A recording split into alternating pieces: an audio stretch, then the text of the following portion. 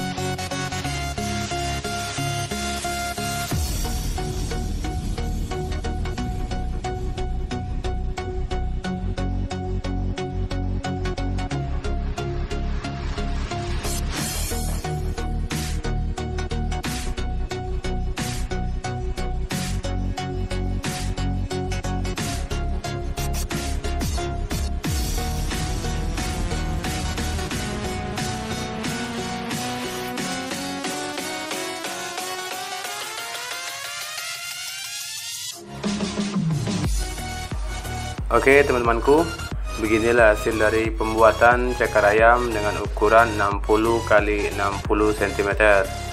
Semoga video ini bisa bermanfaat bagi kita semua.